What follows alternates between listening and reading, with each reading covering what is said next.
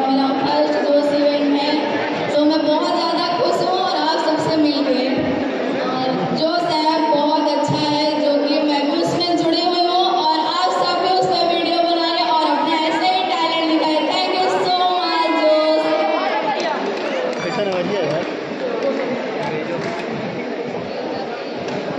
सबसे पहले तो